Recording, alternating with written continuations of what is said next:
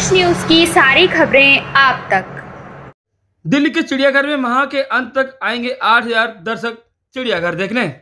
चिड़ियाघर में इस माह के अंत तक रोज 8000 पर्यटक वन जीवों का दीदार कर सकेंगे। इसके लिए एनआईसी के साथ सर्वर पर काम कर रहा है। इसमें सफलता भी मिली है।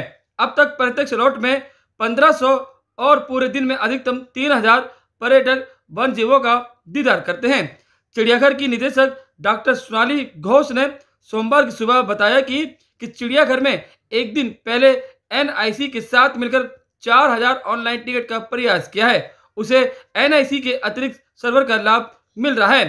पर्यटकों की संख्या को चरणबद्ध तरीके से बढ़ाया जाएगा। इस माह के अंत तक अधिक से अधिक पर्यटकों को परिसर में प्रवेश मिल सकेगा। इससे चिड़ियाघर में घूमने की चाह रखने वालों को निराशा नहीं होगी। चिड़ियाघर में एक अधिकारी के मुताबिक पहले चरण में प्रत्येक स्लॉट में 500-500 पर्यटक की संख्या बढ़ाई गई है। रविवार को पर्यटक स्लॉट में 1000 पर्यटकों की संख्या बढ़ी है। इससे सर्वर में किसी भी प्रकार की परेशानी नहीं हुई है। उम्मीद है कि कुछ दिन ही अधिक संख्या में पर्यटकों को चिड़ियाघर में प्रवेश मिल सकेगा।